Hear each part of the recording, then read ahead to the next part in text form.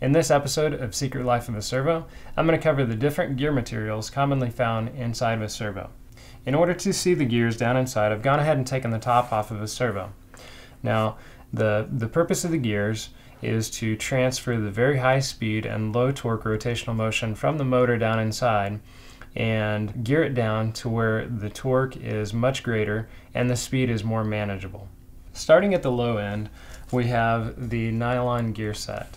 Nylon is going to be found in most of your entry-level, budget-friendly servos. Uh, this material has a fairly good wear characteristic, so it's going to last for uh, relatively high repetitive uh, motions, uh, but it's not going to be able to transfer a lot of torque on down the line. So if you have a high torque application, there's always a chance of shearing off a tooth or breaking a gear set.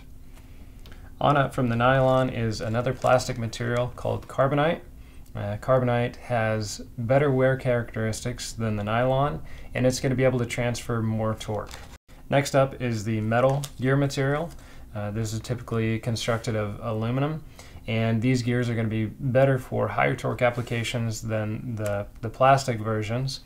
And it's good for applications that have a little more abuse, uh, maybe a, a basher RC truck that you're going to be bumping into things and putting a lot of force back on the teeth.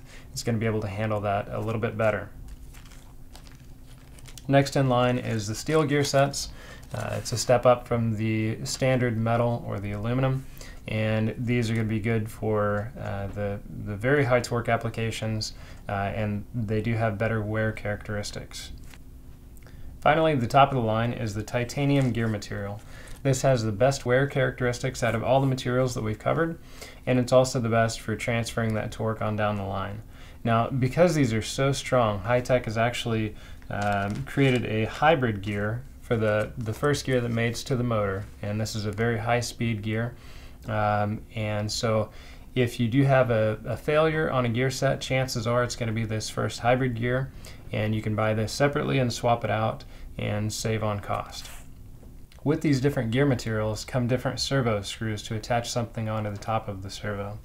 The plastic gear servos typically use a thread forming screw that's going to cut threads in the first time that screw's installed, while all of the metal gear servos are going to use a machine screw. That machine screw is typically either a M2.6 or an M3 screw, so make sure your threads are right when you're looking for a replacement. And also, if you want to get a lot of torque on that screw, uh, you can step up from the standard pan head, which uses a Phillips drive, and go to a socket head that uses a hex drive. As always, if you guys have any questions, be sure to email us at tech at servocity.com.